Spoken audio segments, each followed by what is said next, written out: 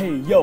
จากเศรษฐุลีธรณีสุนภา วิหกยังพาดโผนโลดแล่นดังอาภาโบยบินผ่านนาทีสุดลีทุ่มปากกาเป็นผู้ครองท้องฟ้าสุดจะหาอุปมาสกุลนาจะต่างถิ่นต่างมาร่วมอุดมการ จากทั่วสารทิศมารวมตัวกันเป็นวงการต่างอยากสร้างเราให้อยู่ยงและคงนานขอเพียงอย่าท้อถึงแม้เจ้าจะสมสาร ให้นมนานแม้เจ้าเป็นเพียงพิราบนกนอนมีอัธยาผู้ใดกล่าวมิทราบยามเจ้าเติบใหญ่เปี่ยมรัศมีทาบเมื่อนนั้นจะเป็นวิหกผู้เปี่ยมเสรีภาพ วันหนึ่งเมื่อออกทลาเล่นลมชมฤดี ยังคงไม่ผู้ไร้สารไร้ทางจรลี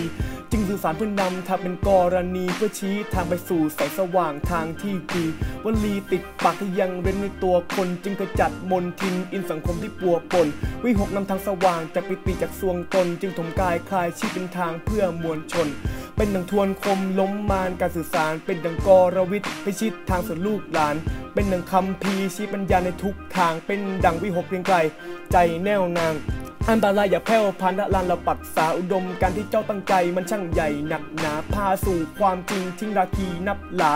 ชี้ทางสว่างเพื่อมวลชนจงรักษา มนุษย์ต้องมักหาความจริงไปตามสิทธิ์จึงเรียบเรียกเป็นกรให้ไหลไปตามบีดนามของข้าพยางค์สามจึงถามอีสื่อสารมวลชนห้าเก้าบุกข้าคือประสานปีด